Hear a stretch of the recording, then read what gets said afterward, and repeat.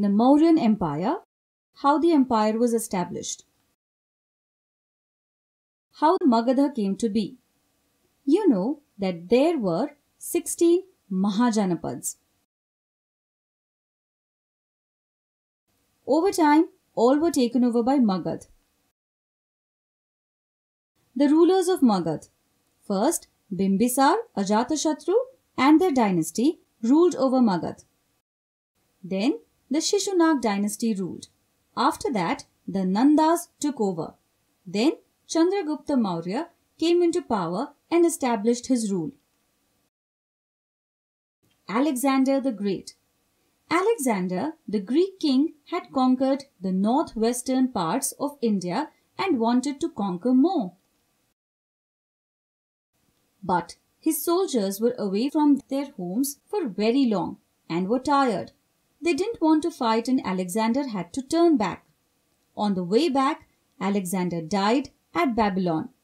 All the states that he had captured then started fighting with each other. Seleucus Nicator then became the Greek king and captured most of Alexander's territories. Nicator fought against Chandragupta too but lost. Then he had to sign an agreement with Chandragupta. Seleucus Nicator Seleucus Nicator had to give many conquered territories to Chandragupta. Chandragupta then added Kabul, Herat and Kandahar to his empire too. Chandragupta Chandragupta's empire grew even larger. Then he began expanding in the south too. By the time he finished, his kingdom was huge. Pataliputra was the capital of his vast empire. How could Chandragupta do all this? He had an excellent advisor named Chanakya who guided him through every step. Chanakya Chanakya was a brilliant man. He was also known as Kautilya. Chanakya spotted Chandragupta as a little boy and thought that he had the qualities of a king. Chanakya trained Chandragupta and helped him overthrow the king Dhanananda. Chanakya wrote books on politics, economics, military strategies, how a ruler should manage his kingdom, etc. Arthashastra is one of the famous books written by him.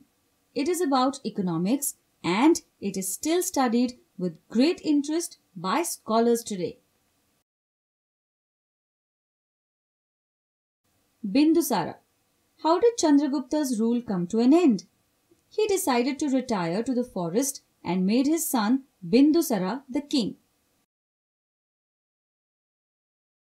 Bindusara was a good king too. He extended his empire right up to Mysore. His kingdom thus covered almost all of India except Kalinga. Ashoka After Bindusara, his son Ashoka became king. He fought a bloody war and won over Kalinga. After that, he decided not to fight anymore. Mauryan Empire in the 5th century under Dhanananda. When Chandragupta took over, Chandragupta's north expansion. Chandragupta's south expansion. Empire after Ashoka. Think and discuss. Which king expanded the Mauryan Empire the most? who guided Chandragupta to throw over the ruling king Dhanananda and establish his kingdom.